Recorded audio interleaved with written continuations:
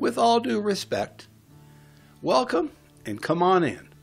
It's good to see you again. Pull up a chair and uh, get comfortable. I see you have your Bibles with you and uh, your notepad. So let me ask you something. Whatever happened to good manners? Whatever happened to respect? Are we not all the same in life, position, and authority? And when are we to use a person's preferred pronouns? So, here's what happened. When I was younger, I was living in the south of the United States, specifically in the Texas and Louisiana areas. The younger adults and even the children would always address their elders as Mr. or Mrs., followed by either their first or their last names. If they were addressing a professional, such as a doctor, they would say Dr. Stephen if they were talking to an office holder, they would address the person as Mr. President or Mr. Mayor or Madam President or Madam Mayor. They would never use just the person's first name unless they were a family member, a close personal friend, or unless the person told them to use their first name. It was always a sign of respect for the person, for their office, or both. I adopted that manner of addressing others as my permanent style, and to this day you will never hear me address my doctor by his or her first name. I always refer to them as doctor followed by their first name when I meet with the mayor of our town, I always address him as, or her, as Mr. Mayor or Madam Mayor, out of respect for them personally and out of respect for their office. When I was younger, I would always address my pastors as either pastor or as Pastor John. I would never call him by his first name and I would address his wife as pastor, followed by her first name.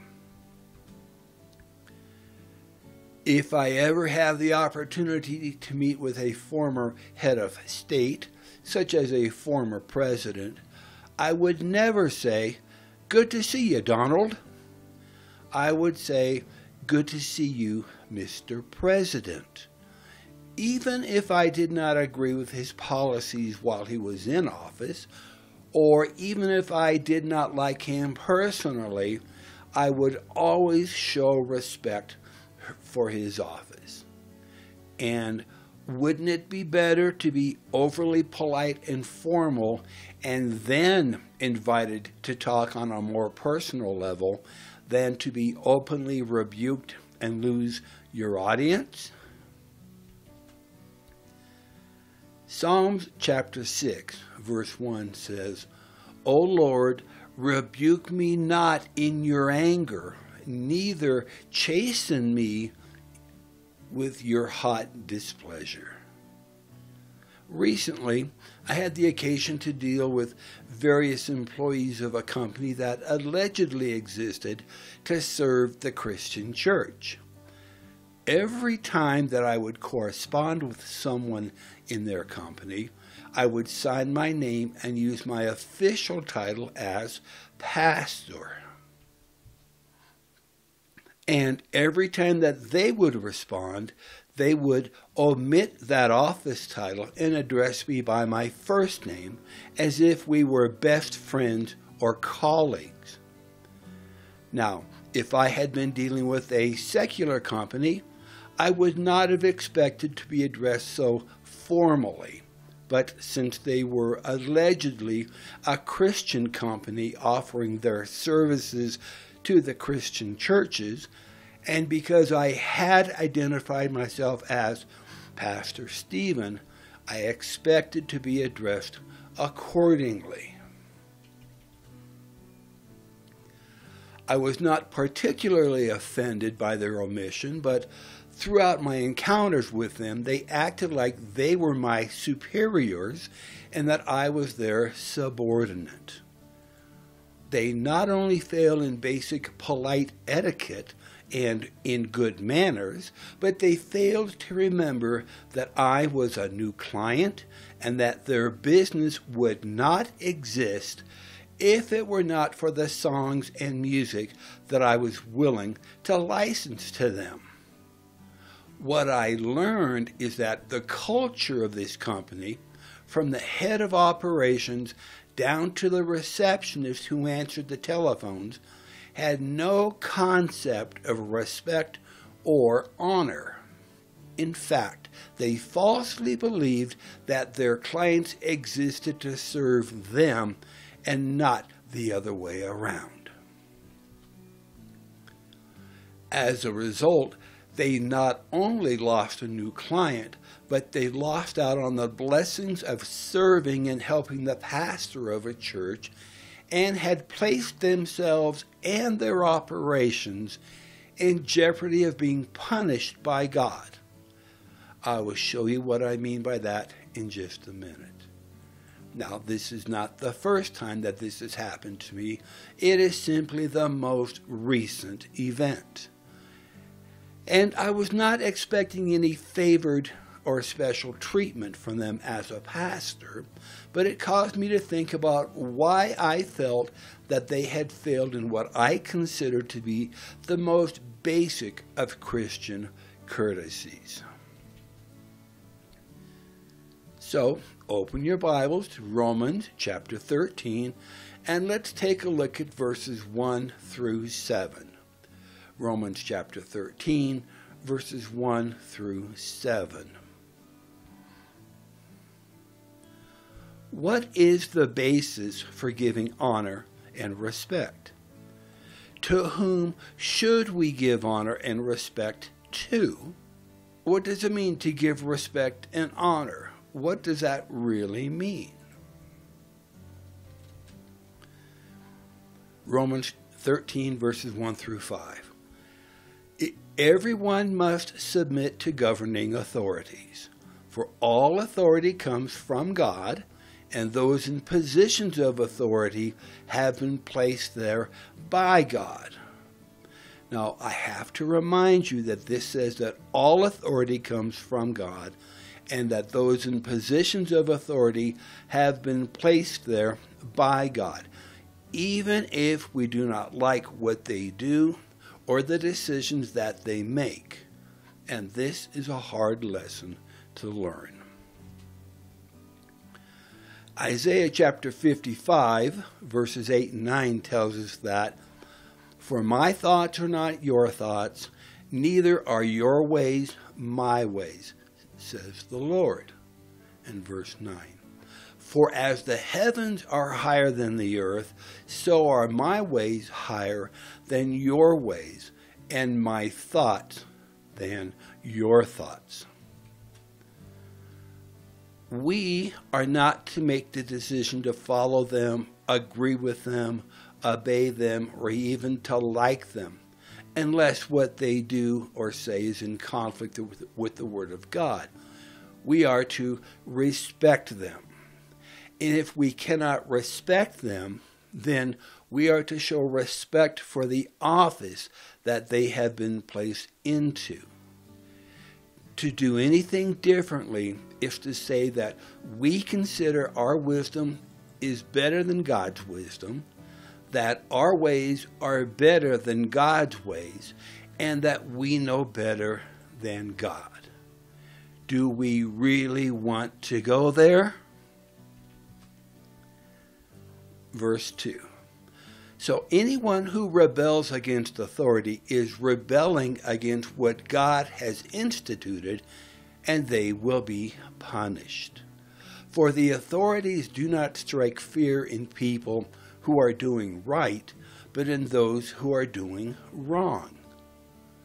Would you like to live without fear of the authorities? Do what is right and they will honor you. For the authorities are God's servants sent for your good.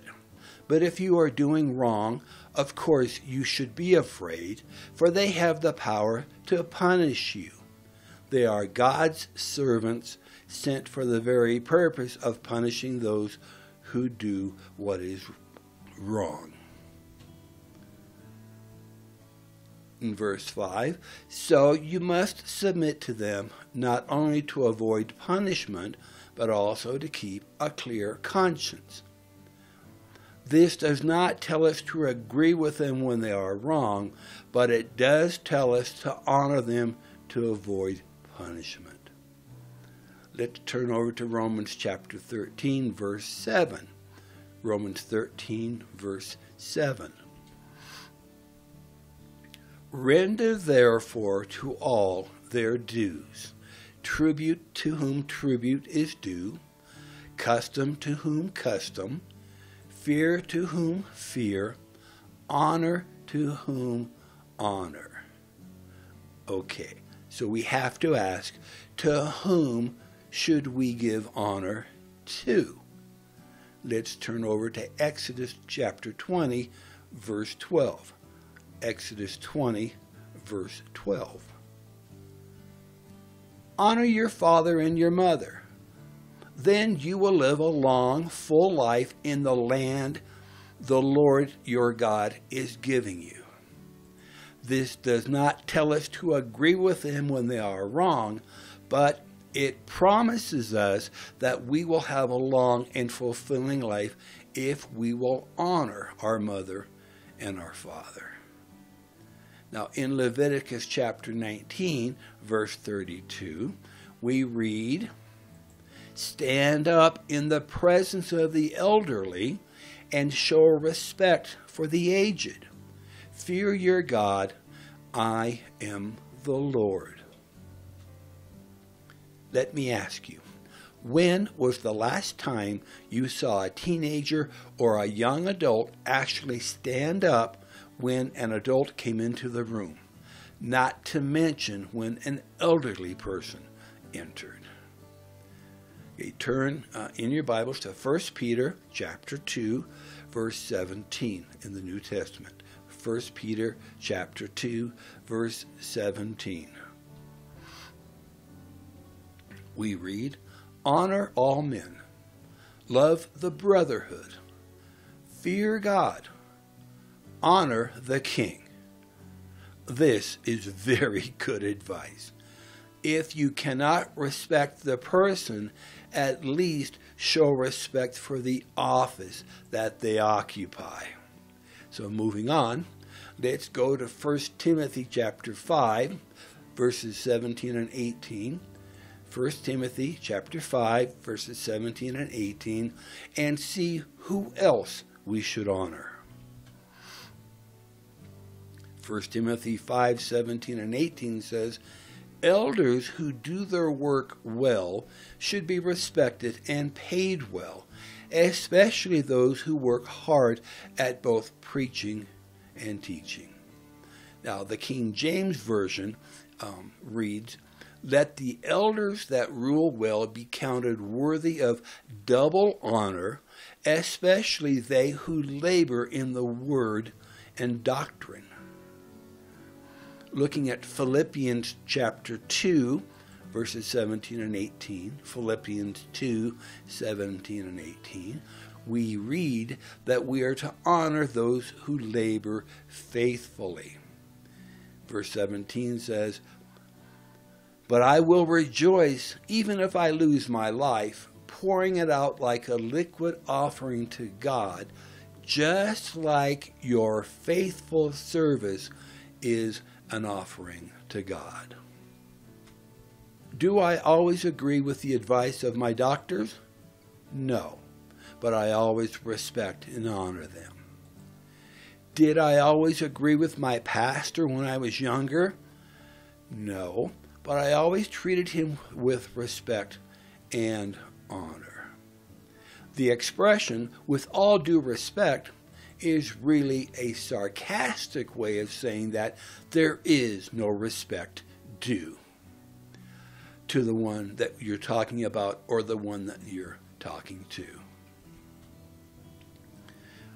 Now, in the regards to the incident that I've been talking about with you, would it have hurt any of them to address me by my preferred title as pastor?